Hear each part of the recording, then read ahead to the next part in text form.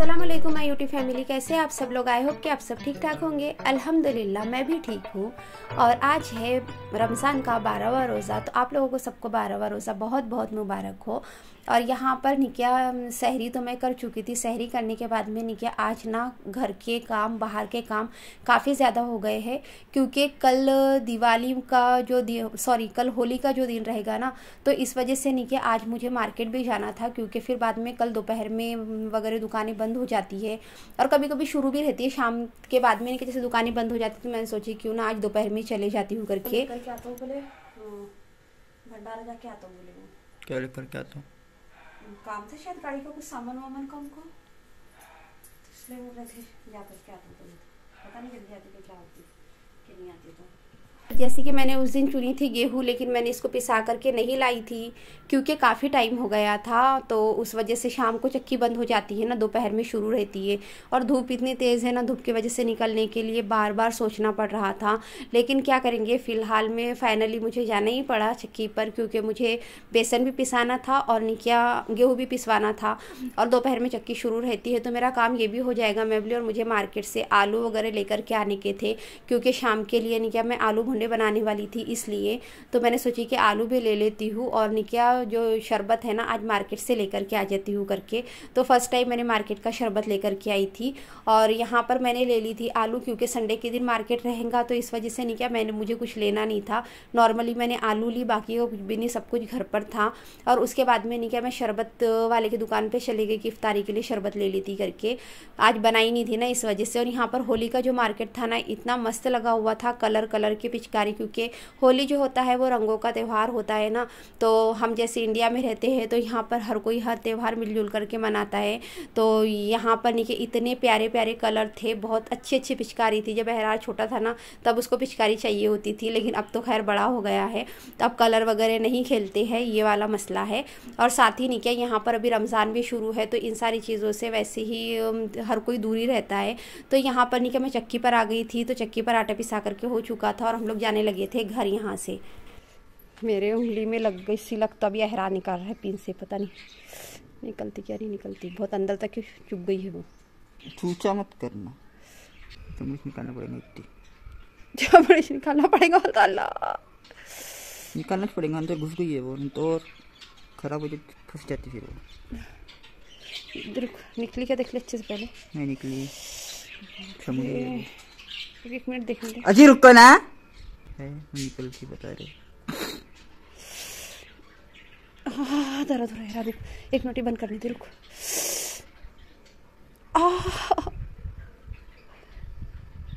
हेरा रुक जा हेरा रुक जा। एरर फ़ोन है मेरे हाथ में। रुक। एरर बंद करने दे पहले फ़ोन। नहीं रुक जाओ।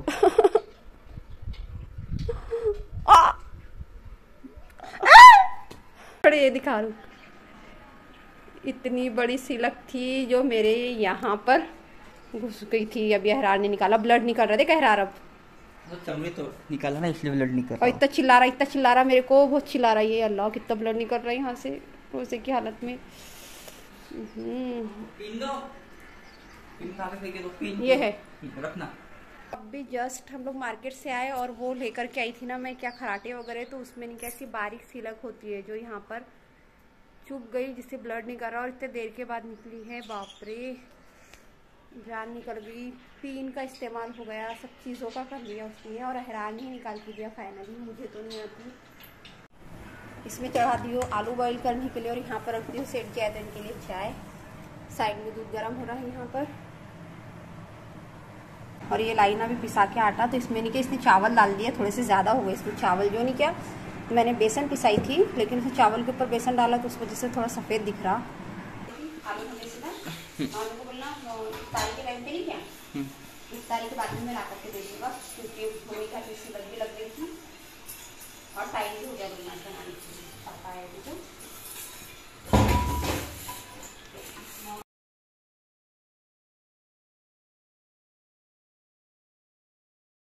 तो यहाँ पर मैंने आलू भुंडे बनाने के लिए ले ली हूँ। चार आलू, इसका देखो मैं छिलटा निकालते निकालते चले गई थी क्योंकि नमाज़ का वक्त हो रहा था तो मैं बोले पहले नमाज़ पढ़ लेती तो इसका छिलटा निकालने का रह गया है। तो ऐसे पूरे तरीके से हमको इसके छिलटे निकाल लेने का इस तरीके से। और साथ ही नीचे यहाँ पर मैंने ले ली हूँ समार, हरी मिर्चे, कड़ी पत्ता और प्याज। एकदम से बारीक चॉप कर ली मैंने इसको। तो इसमें नीचे हमको आलू को मिक्स कर देने का है ऐसा। करेंगे नमक ऐड। नमक आप अपने टेस्ट के हिसाब से ऐड कीजिए। और फिर इसको हमको कर लेने का अच्छे से मिक्स बाकी के हम इसमें कोई भी मसाले ऐड नहीं करेंगे। हाथों से अच्छे से मिक्स कर लेंगे इसको। अब ये हो गया मेरा यहाँ पर ये मिक्स आलू का पूरा। और यहाँ पर मैंने ले ली हूँ नमक और काली मिर्च कुटी हुई। और अब इसमें हम डालेंगे बेसन। बेसन मतलब ये बैटर को लगा ऐसा मतलब दो से तीन चम्मच में डाल रही हूँ यहाँ पर। इसमें पानी ऐड करूँगी हल्का हल्का। ज़्यादा पानी ऐड नहीं करना है। तो ऐसे ऐसे ऐसे ऐसे फेंटना है इससे। ताकि सारी जो इसमें लम्स है ना, वो पूरी क्लियर हो जाए और एक स्मूथ ऐसा बैटर बन जाए इसका। बैटर हो गया मिक्स इसको हम रख देते साइड में और तब तक के यहाँ पर हम बना लेते हैं इसके गोल गोल ऐसे पेड़े। छोटे छोटे से ज़्यादा बड़े बनाने के लिए हमको और पूरे पेड़े बनाकर पहले रख देंगे हम एक साइड में, एक प्लेट में। यहाँ पर ऐसा रखते जाएँगे इसको। इसे कैसा हमको बनाने के लिए ना थोड़ा इजी होता है, अगर ये सबसे पहले रेडी करके रखो तो। बस इफ्तारी के थोड़ी देर पहले इसको फ्राई कर लूँगी मैं। ऐसे जाता मेरे हाथ से। हाँ, देखो कानून के हाथ लंबे होते हैं। कानून के हाथ लंबे होते हैं। आज ना मैंने अम्मी की तरफ़ इफ्तारी का नहीं भी जाई क्योंकि मेरे को हो गया काफ़ी टाइम तो अभी अहराम जाएगा असर की नमाज़ पढ़ के आ गया है ये। और अब मैंने ये तो यहाँ पर तेल रखती गर्म बना लो छः बज रहे हैं छः छः छः बजे छः पूरे। फ़ैन बंद करना फ़ैन बंद करेंगे गर्मी होती गर्मी हो रही है तो धूप से आया हूँ। तो से आया मैं तो कदर ही नहीं है और यहाँ पर ये हो गया है तेल गरम एक बार देख लेते हैं गरम ही हैं। तेल भी जब जल्दी नहीं ओह बहुत गर्म हो गया। हाँ, बहुत गर्म हो गया। कुछ भी गर्म नहीं हो रहा था बहुत गर्म हो गया। तो बस हमको इसमें इसको डिबोना डुबोना है और बस इसको ऐसा डाल देने का है। यानी कि एक एक हम ऐसा लेते जाएँगे ऐसी और इसमें डीप करते जाएँगे अच्छे चारों तरफ़ से, कोट कर लेंगे इसको और इसके अंदर हम इसको डाल देंगे। सारे ही आलू भुले कलर हो गया इसका चेंज फटाफट से निकालते हैं। अब हम इसको देखिए क्या मस्त फुले फुले बने हुए हैं ना। इसी तरीके से सारे आलू भुले निकाल लेने के बिल्कुल निकालना है। अहरार चले गया है। अभी अम्मी की तरफ़ लेट गया मतलब आज मेरे तरफ़ से टिफ़िन ना लेट गया है उस वजह से। तो दस्तर तो बिछा दी मैंने साथ ही निकालती हूँ खजूर। हमारे लाइट की रोशनी जो है ना, वो काफ़ी डिम हो जाती है। क्या कर सकते हैं? फ्री होने को भी वो भी करना तो पड़ेगा ना, जो भी काम करना है वो। और हमारे यहाँ ना खजूर ज़्यादा नहीं खाते, इस वजह से नहीं क्या मैं एक ही खजूर निकालती, एक ही खजूर में से दोनों को हो जाता है। देखिए, पैकेट लेकर के पैकेट ऐसे ही रखा है। तो यहाँ पर इफ्तारी के लिए ज़्यादा वक्त नहीं रहने की वजह से मैंने फटाफट फटाफट बिछा ली थी। फिर भी जब अहरार आया ना तो अहरार के आने के पहले इनके दस मिनट बचे हुए थे तो अहरार ने फिर भी यहाँ पर हेल्प करने लगा। वो बोलते हैं ना कि मैं अकेले कर रही थी बोली ना मैंने, लेकिन फिर अहरार आ गया तो थोड़ा बहुत उसने भी लाने लगा है यहाँ पर। और जैसे ही इफ्तारी का बिछता है ना तो तकरीबन दस मिनट में पहले से बोलती पाँच से दस मिनट हमारे पास होने चाहिए। बट आज मेरे पास में ना सिर्फ़ चार या पाँच मिनट बचे थे तो फिर चार पाँच मिनट में अहरार बोलने लगा, अम्मी, चार मिनट बचे, जल्दी से आकर के बैठो करके। तो वही मैंने फटाफट से रख दी को और मैं भी बैठ गई यहाँ कर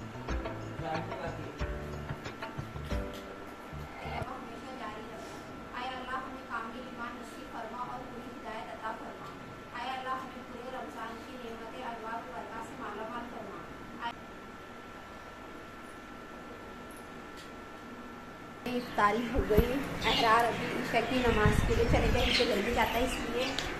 और मेरा ये खाने का फिगर इन सबको अभी मैं उठा करके रखती हूँ।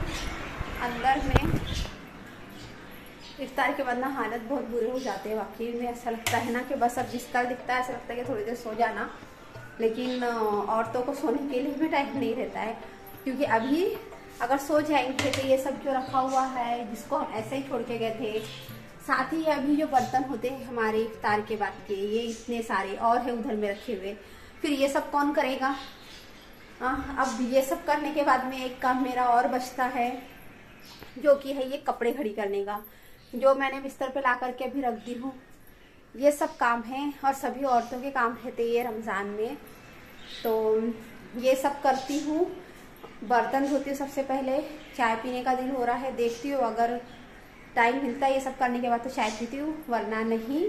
क्योंकि आज बाहर गई थी ना तो काफ़ी थक गई बाहर जाने की वजह से धूप धूप पे जाना हुआ तो।